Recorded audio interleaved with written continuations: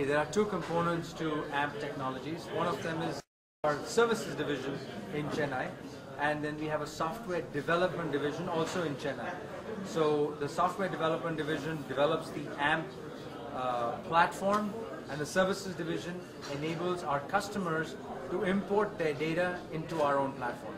Yeah, yeah, no, I think there is a growing acceptance of outsourcing of all kinds of work from the US to India, and one for two reasons. One is certainly the knowledge component. People in India are already familiar with uh, uh, you know systems such as MRI and Yardi and SAP and Salesforce, and so there is a local resident talent.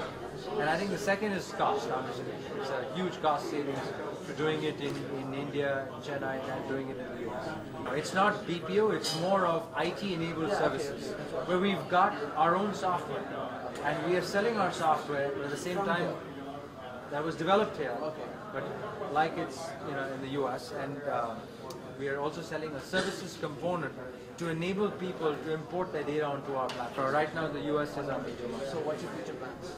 Future plans are to grow in, is to grow our, our number of clients in the US, one, and to grow our team in Chennai.